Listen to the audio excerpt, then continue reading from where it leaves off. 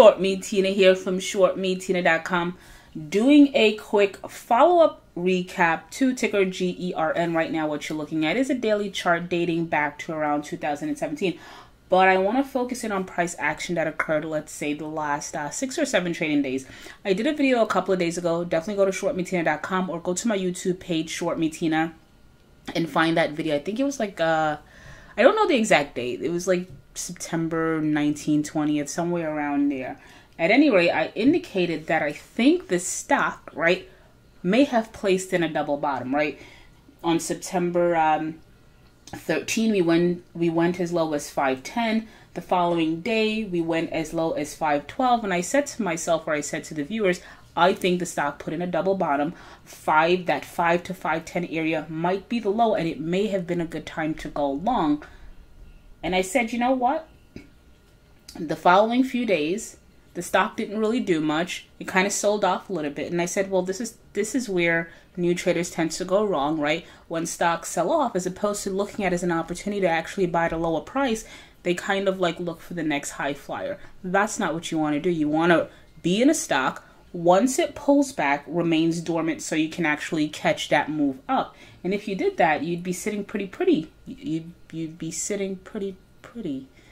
I don't know. You'd be doing pretty well right now um, because the stock is sitting here at 620. So I'm gonna wrap it up. Still very bullish on ticker GER and we're not in this trade. I'm not sure why. I do know why. We're over allocated, in my opinion, in terms of speculative picks, and I think this is a speculative pick.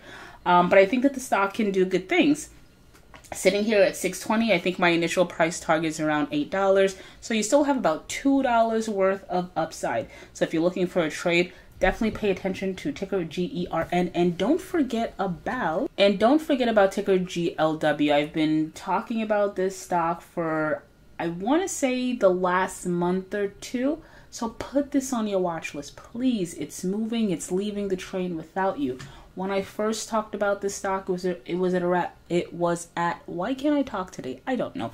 It was at thirty dollars. Right now we're sitting at thirty five sixty nine. Most recent high was around 36. So if you so if you've ignored me this entire time, you've missed about six dollars per share of upside. That's a lot.